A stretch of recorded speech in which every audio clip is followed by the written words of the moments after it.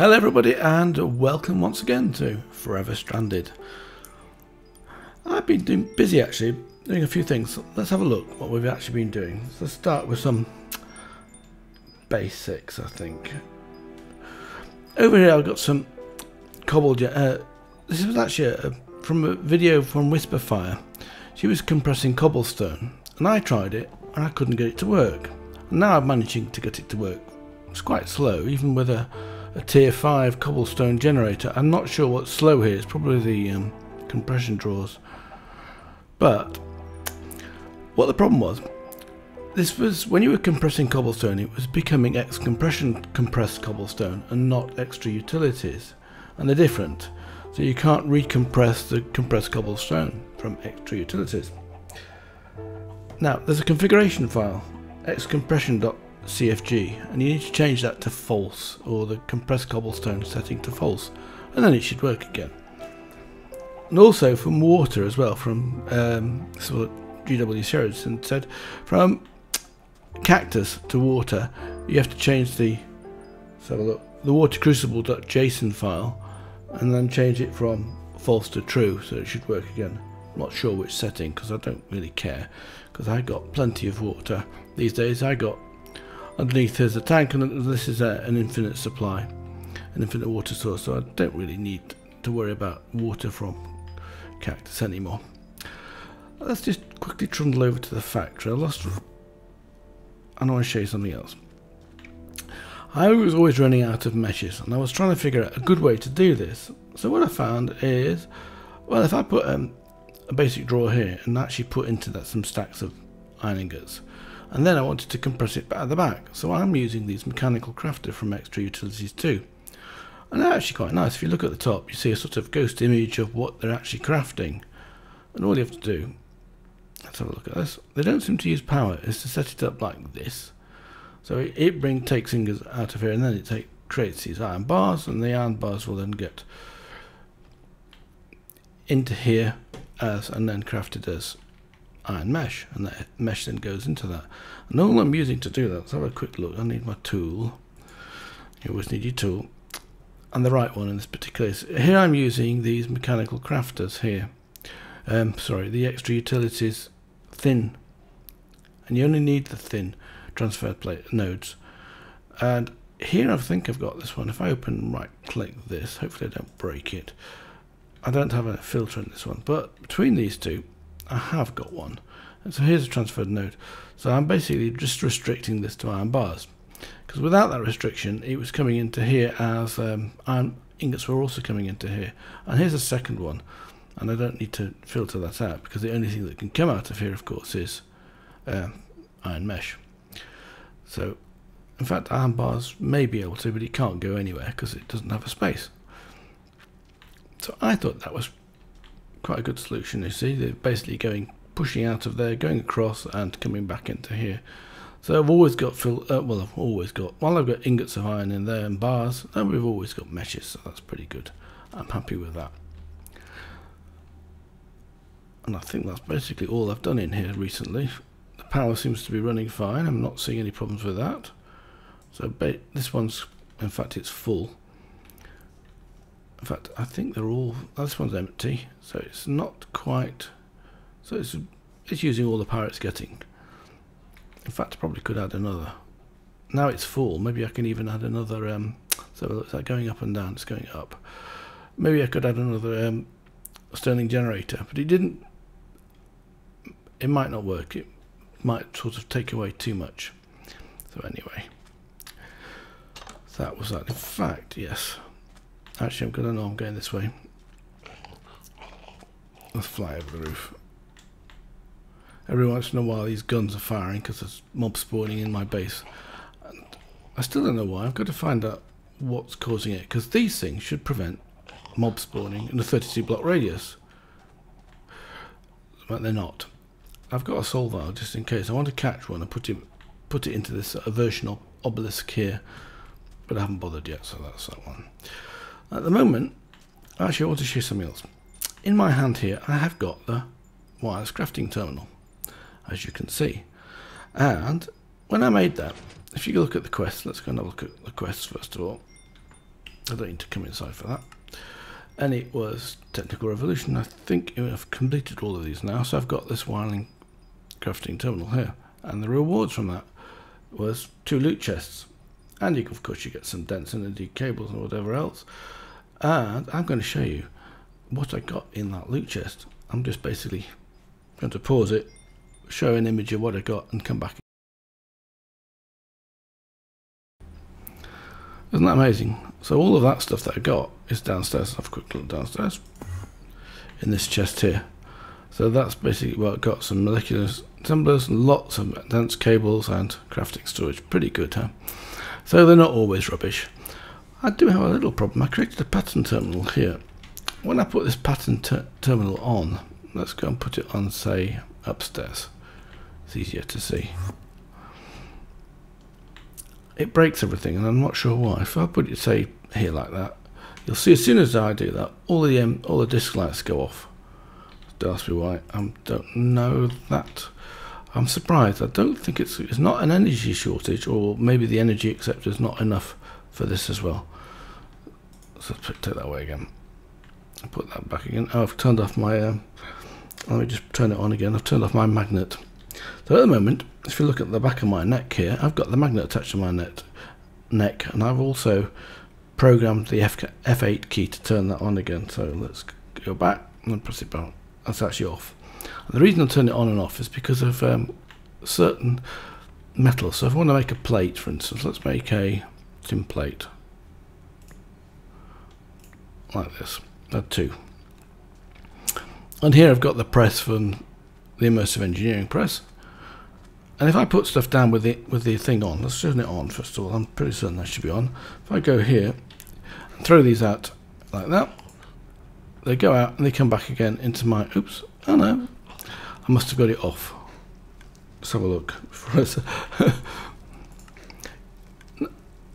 it is deactivated. Yes, so that's why. And all I have to do is throw them onto that vertical. Just throw them out here. The vertical um, conveyor belt picks them up and pushes them down there and then they end up oops I didn't want to do that actually this tool's actually quite dangerous in fact I really so, now I've got some tin plates I shall try to remember where those are for when I actually need a tin plate it's quite nice isn't it? But what I'm going to do today I hope I've got enough by now. I'm making some steel. I haven't made enough steel. I've got enough now that's great. What I'm doing is I'm making some heavy engineering blocks from immersive engineering. So let's just make another one of those. I think I've got the bits I want in here. Yes, these things.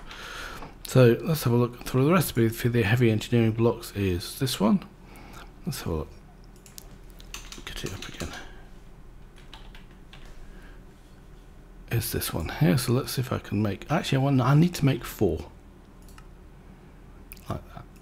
Okay, and what I'm trying to do with these, if I look at the usage of those, is I actually want to make these reinforced obsidians. So I need some aluminium sheet and some iron sheet metal, and that's fairly straightforward. That's why I was making these plates. Some aluminium, and the iron one is exactly the same pattern with iron. With iron. So in here I've got those prepared already. So let's get those out and do that again. Oh no, not that one. I want this one don't I? Where's it gone to? No, I want the usage of that one. So this one. And that makes reinforced obsidian, which is weatherproof. And what I'm going to do with that is I'm going to shove that into the alloy smelter. Like that. And then I get this brick. Now I've got four of these bricks. They're actually quite expensive. And I need some sticks. Have I got any sticks on me? So I have. What I'm going to make is this thing.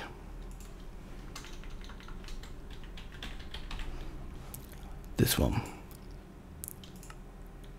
And if you look at this tack damage 17, I think that's quite impressive. I wonder if we can enchant this. Let's go and see if we can enchant it. If it's an enchantable item or not. Indeed it is.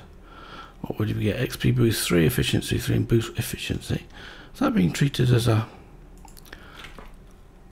as an axe or as a weapon. Tell you what we'll do, we'll try and get a book and see if we can apply something on it that applies to. Let's have a look. In fact, it should be able to tell me, shouldn't if I look at the uses of it. So I can do touch mending, breaking, auto smelt, XP boost, efficiency, fortune. So it's really more like a pickaxe rather than a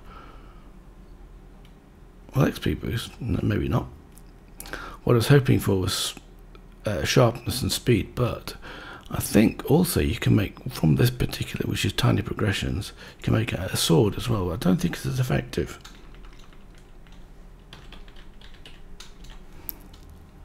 Um, let's try it like this.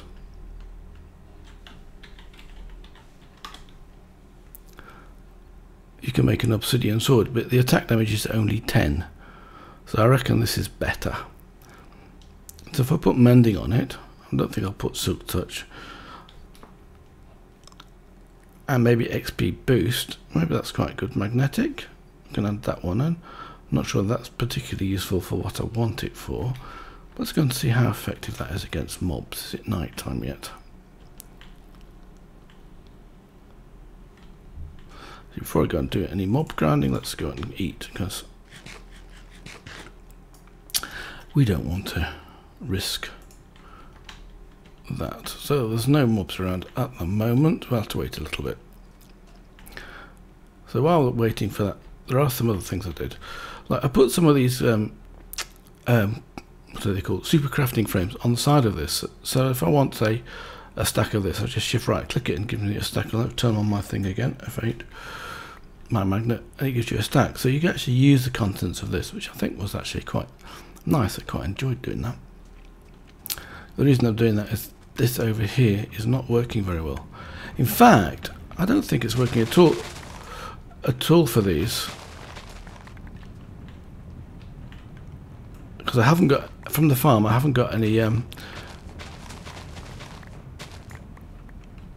sugar cane in here there was no sugar cane when it goes in it disappears and I don't know where it goes to. I think I think I think um, progressive automation planters are a bit bugged at the moment but I think it's also winter time because this is on and the crops are still alive and I think potatoes are also having a problem I would expect to see potatoes in there don't ask me why I'm not seeing. I don't know where they're going to. Can't be going very far. Um, and it did certainly work before, so I don't know what's going on. Bit of a nuisance, really.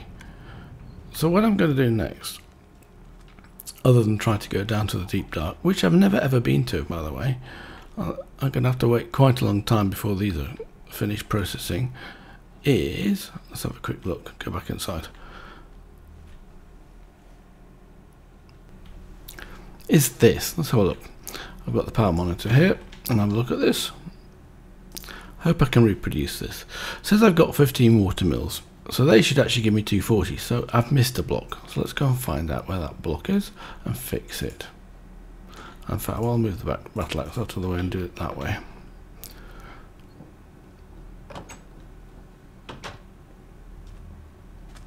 So we come underneath there and it looks like it's over here, doesn't it? Just one missing here. So that says it got 15 instead of 16. So if I put a water source block just here, that's now generating 16 and hasn't affected the others. But this is where I'm not sure. Let's just look at this. So I've now got the 240 GP. And what will happen is if I stop the game and come back again, I think it doubles it up.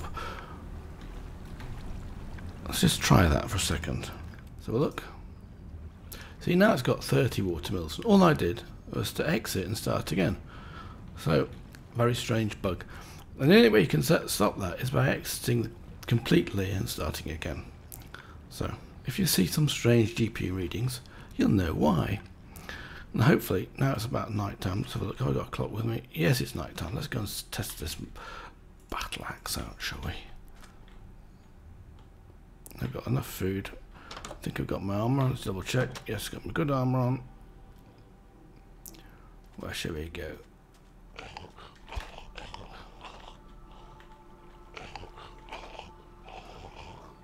Well, there's somebody around here. Yep, husk. Let's go and see if that. How many hits I have to do to get this guy?